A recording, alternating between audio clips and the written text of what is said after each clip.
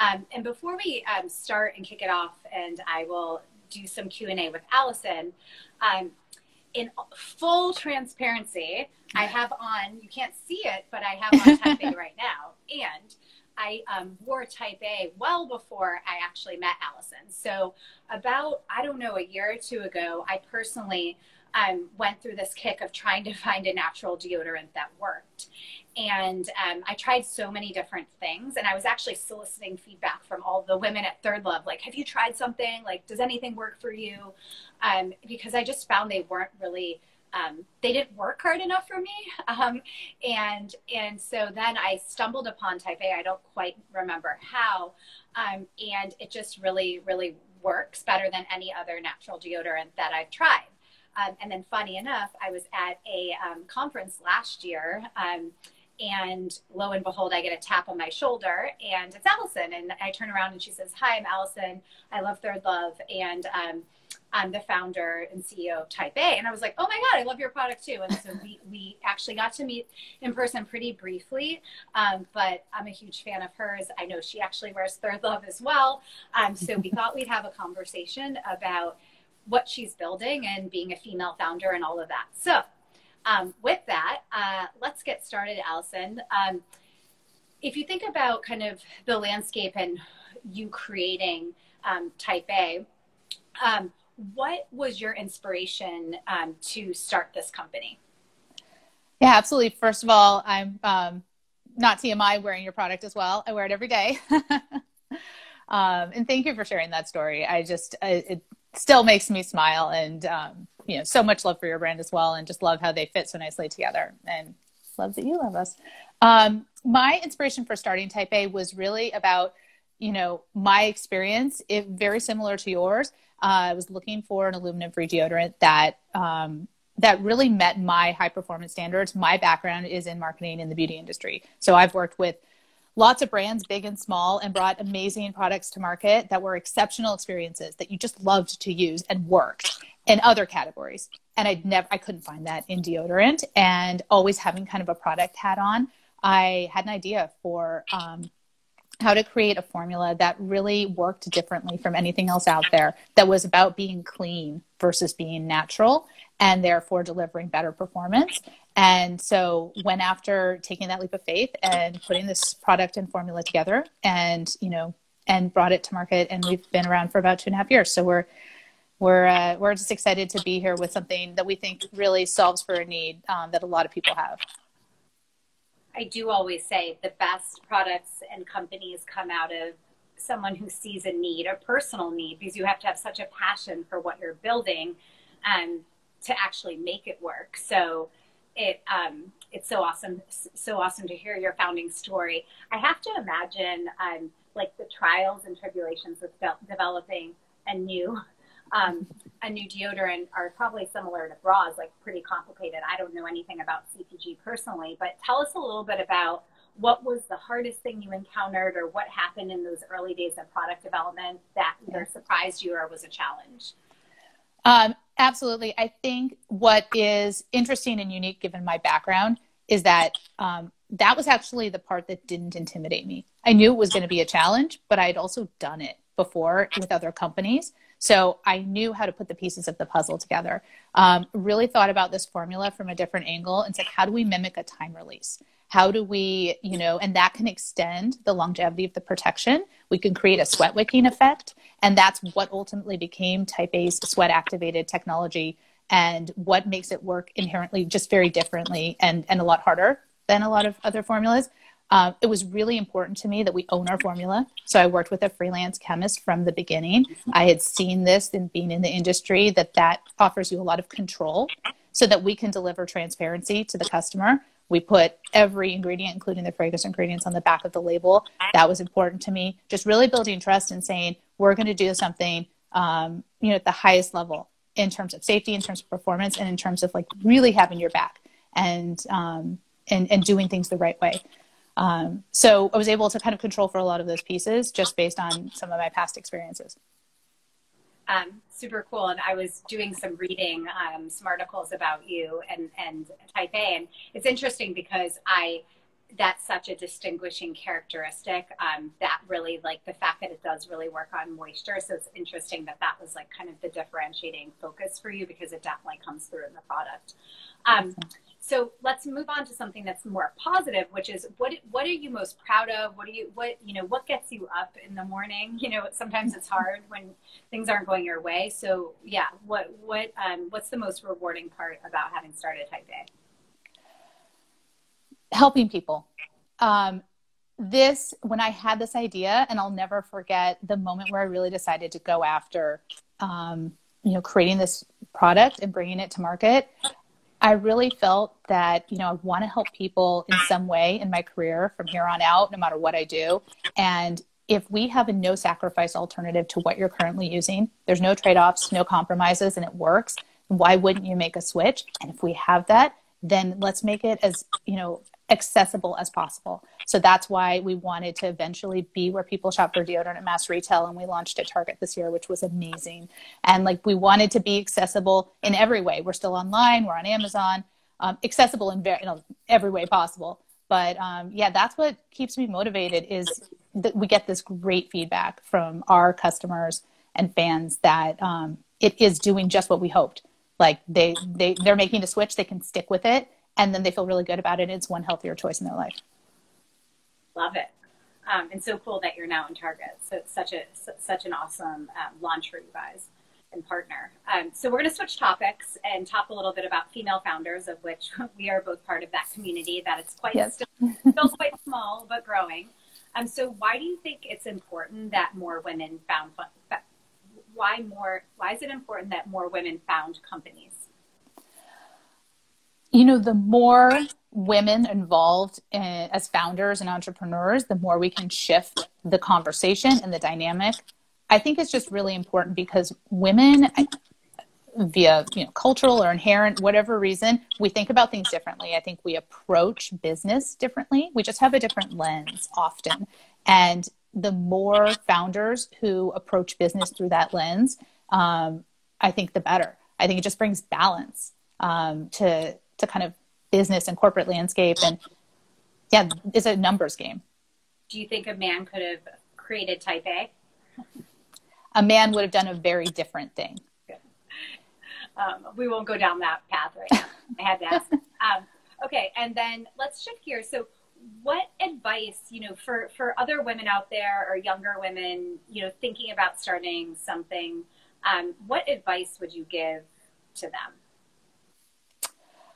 um, that's a great question.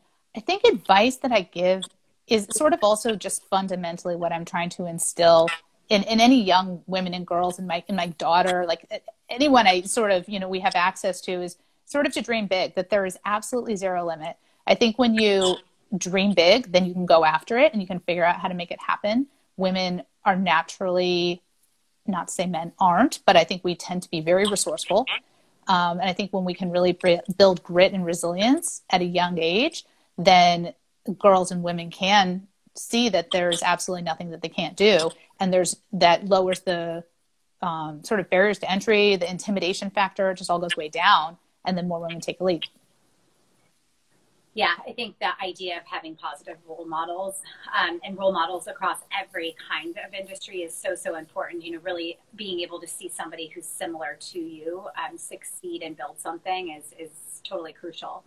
Um, so I want to jump into your product development because some of the things that I read is very interesting. And it sounds like you spent a lot of time on even thinking through, you know, the design and the name. Um, funny enough, I didn't really quite put two and two together about Type A until today when I was reading, and I was like, oh, the name, now it all makes sense. I'm like, where have I been? very obvious. But anyway, neither here nor there. Um, but tell me a little bit about how you chose that name, and then a little bit about product design, because the the the um, the product itself has a pretty unique feeling to it, I guess I would say, as a consumer of it. Um, so tell us a little bit about how you thought about the name and the design. Absolutely. So the name first, the name came out of I created a formula first. And then I want I said, okay, we have a formula that does everything I want in terms of a performance perspective. Now we're going to innovate the packaging around it. And we're going to find a pack that is fun and easy and fast and clean to use. And those were kind of the four, you know, pillars. And we found this tube, and this tube, out of a hundred packs that I looked at, was all of those things. And so it's not again going to be a sacrifice from trading from a stick to a tube. You might even like it better, and it turns out that people do, which is amazing. Um, so then we have this great product here, and I was like, what do we call it? And when thinking about the product, it works hard, it has your back, it doesn't give up, it doesn't quit, it's overachieving your expectations. This is type A. And that was how the name came up. And really what cemented it. And I remember saying this to someone was, you know, even if you're not type A, don't you want your deodorant to be type A? And once I said that out loud, I was like, that's what we're calling this. That's so cool. And how do you develop the fragrances? So the scents. Um, how do you think about those? How do you name them? Like how do you how do you even think through what you should offer? And how many then, do you have today? Because you've been adding some, I think. We have, we have. So we have six scents, and then a, and, and a fragrance free for those who want that, and then we'll always have that. Um, yeah, the naming part is very fun. Uh, what we really wanted to do was also sort of turn the conversation around on Type A. Type A can be about setting, you know, high bar and exceeding expectations. Type A can also be a force for good. And, you know, there are so many wonderful personalities that also embody type A, but embody, you know, driving positive change and, and believing and vision, dreamer, you know, being a visionary, all of those things. So that's that's like we, we extended the brand into the naming convention. Um, how do we pick the sense? and then how do we? The names are just you know the most fun team brainstorm, and I think everyone gets in on it and has a good time. Um, and it, it's really hard to choose the end of the day. Um, the scents are something we put a lot of thought into. just like everything with the formula, it all comes down to attention to detail. So we're just really nuanced in analyzing, um, in, in, identifying what we want the scent experience to be, not a single note, but really kind of a, a more of a sophisticated, more of a um, you know rounder experience. And then we have an amazing fragrance um, house um, partner that we we found over the course of time and has now been kind of our go-to. And they just um, they get what we're trying to do, and they can develop um, natural, naturally derived fragrances that meet our standard, and also um, you know that are really you know immersive experiences. Super interesting. And then, um, what's something that you've learned along the way that you've either been surprised at or has made you think through your product differently or something? Sorry about that. Um, iPhone technical difficulties here. Uh, what is something that I've been surprised at? Um, so I guess well, let me. I'll I'll speak to more of the technical difficult the the, the challenges here that I obviously have also with my iPhone setup. um, I think what one of our early challenges that you know was definitely unexpected was in production. We actually had to make a, a change to our contract manufacturing partner early on, and you know to me quality is you know most important. And in order to scale, this just we had to kind of make a shift. But the whole process of making a product in a lab and versus making it um, at scale. And then every time you scale up to the next size is um, very uh, complicated. And, and, and I think a lot, that was something I just didn't have exposure to in my, in my career in beauty. But now in this role where I'm doing it all, I had to really rely on people I knew in my network who, um, former colleagues who knew what they were talking about and get a lot of advice um, because it was a, a bumpy road for us for a little while. The product development and manufacturing and production always never never not a challenge, right? There's always something going on. always something.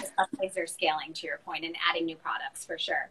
Um, so as we think about sort of what we're doing today, which is the idea of women supporting women and um, you know helping helping each other grow and scale. Um, what you know what do you think women can do to help uplift other women in their lives whether that's your friend your colleague etc i think that's a great question. I think it's super important. Um, we i think we can just be there for each other and really listen. Um, i try to you know, in a personal and professional level, just surround myself with people whose opinion I really value and who I can be really honest with and who will be honest back with me um, and not just tell me what I want to hear. And and I think that it's that's a tough thing, and I think I've learned it over time as a human, as a female growing up, I'm maturing. But um, it's really important. And even when someone who I trust tells me something I don't want to hear, um, you know, there's a moment of like, oh, I don't like that. And then there's a moment of, but I need to hear it because that's exactly telling me that I need to listen even more carefully.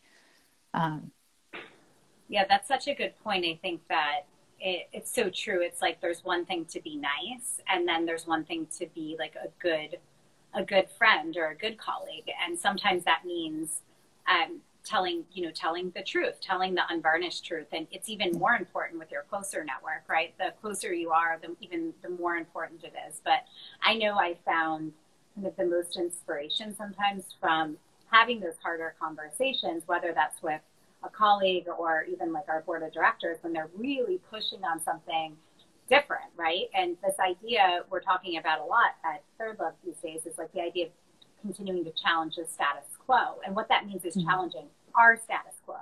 We've already kind of changed the status quo for an industry, and now it's like, how do we continue to push the status quo? Well, it means pushing ourselves, right? Um, and sometimes that means doing things that make you uncomfortable or, or doing things that are different than what you've ever done in the past. So um, I think that's hugely important as, as, as that honesty. And then also for the person who's receiving that to be open to it, right? And to really yeah. look at that as um, an opportunity to continue to learn and grow versus like somebody, um, you know, versus it, it being a positive versus a negative. A hundred percent. I also think it's a lot in the delivery. So I think you can really, you can be compassionate and still honest. Um, yeah. And that goes a long way. We talk, we've been talking a lot about that internally on our end, actually. Um, Awesome. Well, we are going to jump into Q&A. Um, we have some audience questions that I'll start on, but I have one more question for you before we start doing that. So if you're listening right now and you have questions um, for either Allison or I or both of us, we're happy to answer them. So type them right in and we'll, we'll get them going. Um, before we do that, um, tell us, tell me or tell us one or two women that have either inspired you or mentored you. I don't love the word mentor, but you know, you get what I'm saying. Um, yeah. I'd love to hear who those women are in your life. Yeah, I think um, there's there's a couple of women. Any woman who is advocating for equality or change or you know talking about the hard conversations is someone I admire. I feel like there. I was actually thinking about this the other day. I'm like, there's it's, it's a long list. Um, and so I would say, you know, public figures that I admire right now, someone who happens to be super present in my mind is Michelle Obama. Um, and specifically for, you know, how she speaks openly and honestly. Um, and then is able to leverage her experience to, you know, shine a light on issues that are important to her that I think should be important to our society and culture around kids and food and that. Um, you know, personally, I, I kind of agree with you actually. I think the term mentor can be very like it's it's weighted and sometimes um I'm not it's not my favorite term, but I have a lot of women who I've worked for who've inspired me and have been role models in my career. And I think everything I do, you know, in every position progressively is is either a reflection of something that I liked the way someone handled it in the past, or I actively said, I don't want that and I want to do things differently. And I try to pour all of that into type A to create a culture that's fun and collaborative and you know, supportive. And we work together as a team and, um, and, and reflective of all of the positive experiences I've had. Awesome. Um, thanks for sharing that. So I'm going to roll into Q&A um, coming from um, our audience. So the first question here is how does type A and ThirdLove view their competitors? How do you break barriers in the marketplace that is already established? Um, I can take it first and then Allison, can follow up um, with yours. Um, so uh, it's interesting. So I think when I think about the competitive landscape in lingerie, um, it's it's changed so dramatically over the past seven years since starting ThirdLove. So if we go back in time, when we started ThirdLove, D2C wasn't a term. Direct to consumer didn't exist. It wasn't even a term. So it's crazy. I know it's crazy how the world has changed in such a yeah. short amount of time, and generally for the better. We won't go into all the ways it's gotten worse, but anyway. and so, really, when we started ThirdLove, it was really about you know there being this option for women. It was like the idea of Victoria's Secret or department stores, and obviously that was really where the opportunity lied was to create better product, a brand that resonated with the modern women woman. And then obviously the idea of being online was revolutionary at the time. Now you flash forward today and the there's so much in the world in, in every in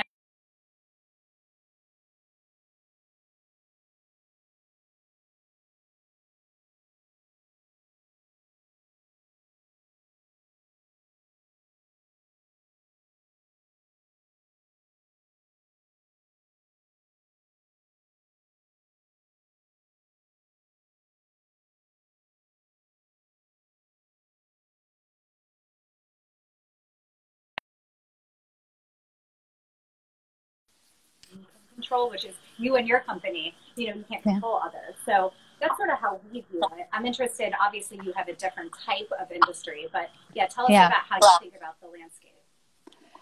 The landscape in uh, the deodorant category right now, especially aluminum free slash natural deodorant, is insanely competitive. Um, so it's a very present question.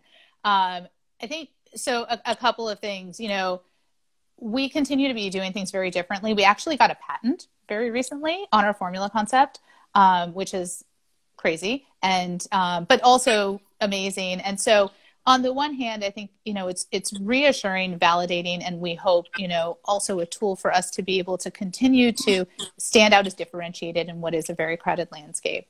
Um, but it um, you know now that D2C is a thing, um, the it, it's very easy to to get a product out there um, especially kind of in our category. If you just want to create a version of something that exists already with a different kind of marketing and branding spin, you can do that pretty easily, and it creates a lot of noise. So our challenge is more about um, cutting through that noise and cutting through the clutter and really you know being able to help guide and educate consumers that there are a lot of things that look different but are really very similar and that we stand apart is actually functioning very differently um, and just that there is an option, but just helping to um, to to sort of delineate or categorize the the options out there. No, it's a it's going to be a continuing challenge and evolution because I think that um, the D2C landscape itself is changing, and the ability to reach consumers is shifting and changing with a lot of the regulation happening um, around you know privacy regulation and ability to advertise. I think that's going to actually fundamentally change again how easy or maybe less appealing it is to bring any new product to market, and that you really have to have a lot of um, points of difference and um, in order to uh, to to have a, a, better shot. Absolutely. Um, so, a another question here is. Both of your companies have grown rather quickly since launching. How have you had to pivot or change your way of thinking to keep up with the demand for your product? Um, and I can take this one. I mean, I think that um, for us, it was a lot harder, harder in the early days of ThirdLove because demand was so unpredictable and growth was unpredictable as well. I think over time, you just get better at forecasting and better at seeing certain signs. Um, so for us, it's really been about that balance between having enough inventory but not too much inventory um, which is which is just you're always walking that tightrope. Such a uh, challenge, right? Like you, you know, it's always and it, it it tends to at least for us, it always it's the start and stop of that, yeah. um, and it's it's just kind of the natural um, way that we've gone through growth. Um, but I'm interested to hear your perspective as well. Yeah, no, it's um, inventory planning and forecasting is a huge challenge, and and it's exactly what you said.